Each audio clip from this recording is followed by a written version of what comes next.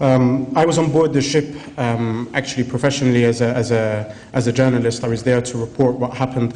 But um, as with most cases, uh, the Israeli government and the Israeli military does not differentiate between anyone. Um, it lumps anyone who uh, opposes or disagrees with its barbaric methods and policies. None of the people were detained. We were all kidnapped. Detention, uh, there is a legal uh, justification for it.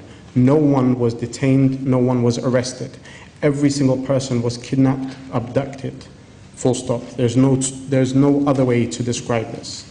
In the prison, uh, I asked to see a lawyer, I was refused. I asked to see the British consulate, I was refused. I asked to make a phone call, I was refused. There was one of the, the Malaysian uh, activists on the top deck earlier in the day. His hands were tied so tight behind his back, I could see it going all sorts of colors. He requested once, twice, three times, very politely, very soft spoken, can you please uh, loosen these? The Israeli uh, soldier came up to him after the third time, tightened it even more. Um, the scream that he let out um, from a grown man who, who really, and it's just, um, there was obviously plenty of uh, uh, Quran copies and also the Bible and many other holy books that were present. These were just trashed around. There was no regard for anything sacred whatsoever, um, least of all for human life and dignity. I was only taken off the ship at 7 or 8 a.m. the next day. Throughout this time, uh, I did not eat anything, there was no food. Uh, literally, all that was given to me were three sips of water. People in Gaza do not are, are, not left forsaken just because what we went through ultimately is not, it's not even 48 hours of what tens of thousands of Palestinians have gone through and go through year after year. As daunting as it may have been for me or for anyone else, ultimately there are tens of thousands of other Palestinians who go through this all the time and are unreported and people do not hear about. They do not have the luxury of coming here to speak or know the support that people have.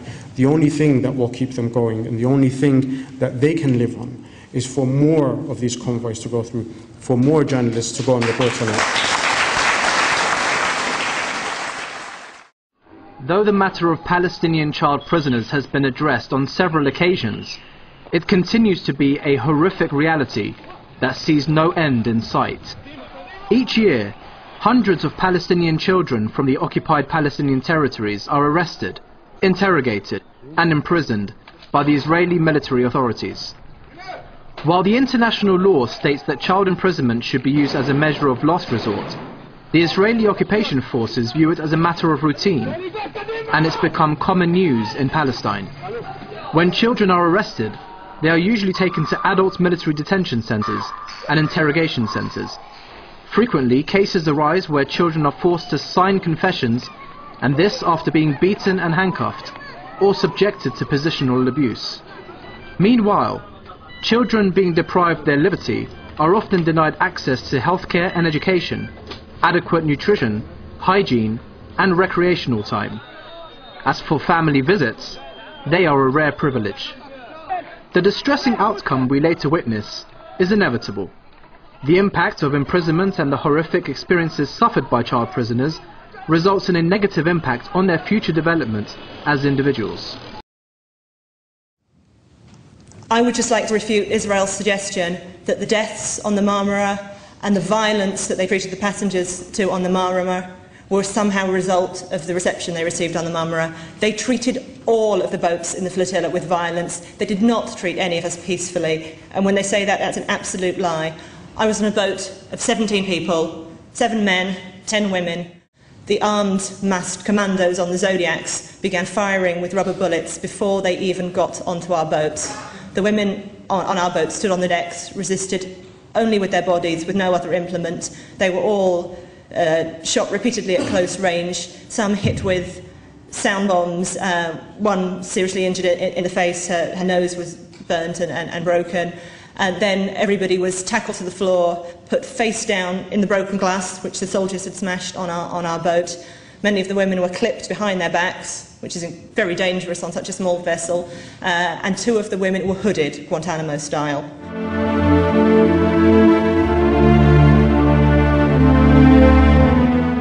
According to international law, any human being below the age of 18 is considered to be a child, and Israel does apply that standard to their own Israeli citizens.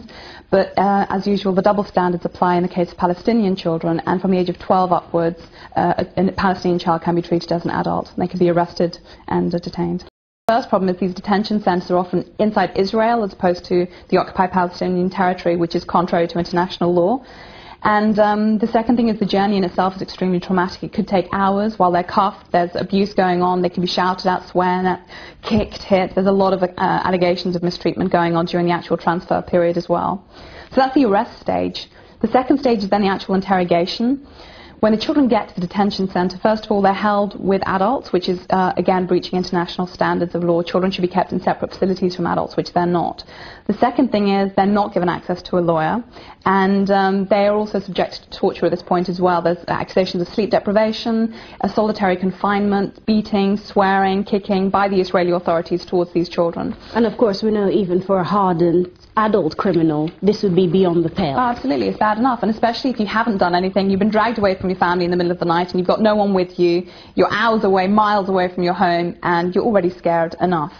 Um, but then, uh, having gone through all the sleep deprivation and solitary confinement and all the interrogations, they're often then presented with a piece of paper which they're asked to sign, uh, which is almost always in Hebrew. Now, these are Palestinian children, they don't speak Hebrew, they speak Arabic, but they're told to sign it, and in most cases they do. They don't have a lawyer to recommend that they don't sign it. They don't have a lawyer telling them that they should have it in Arabic first. And the problem is they'll sign it just to end the cycle of abuse that's been happening to them, and just and I think a lot of go us adults would actually do Yeah, that. to be exactly, exactly. And these are kids, and they just want to go home. A lot of the time, they're deceived by the guards as to what the content is, or you know, sign it, we'll let you go, and that kind of thing. And um, the problem is often what it is. It's a Hebrew confession, and once they've signed it, that often forms the foundation of their whole prosecution. There are not necessarily witnesses to what they've been alleged to have done. There's no CCTV footage. That one statement they've signed under pressure in Hebrew is going to be the foundation of the prosecution in many, many cases.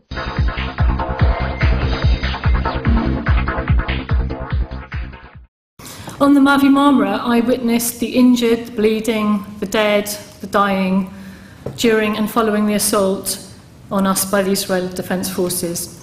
I witnessed the treatment of passengers during the kidnap situation and the callous handling of old and young, the destructive way in which the ship was ransacked, the blatant theft of our technology, money, personal effects, the use of violent threats. As I looked at these IDF men and women in their combat gear and hardware purchased for them by Uncle Sam, I wondered what on earth they hoped to achieve. I tried to speak to a commander about it, but he just laughed and said he doesn't want to discuss politics. I said, Well, no, nor do I, but I just want you to tell me how you feel today. Do you feel safer? Do you feel better? Is this a good day for Israel? He was silent. So later on, after our stifling and uncomfortable journey on the ship, which smelt of blood, we were forcibly processed through Ashdod with an escort at each shoulder. While I was being searched by uh, one officer, who were searched thoroughly twice, um, she looked at, at my money, the cash donation, which we brought for a women's cooperative in Gaza. And she said, Put this away. Money is the most important thing in this world. It is the only thing that matters. I guess we should thank the media who've woken up to pay some attention to this issue and grateful that they were concerned that we spent some time in Israeli custody. We now want them to ask what about the thousands of political prisoners in Israeli custody and all of the other shocking facts about Israel.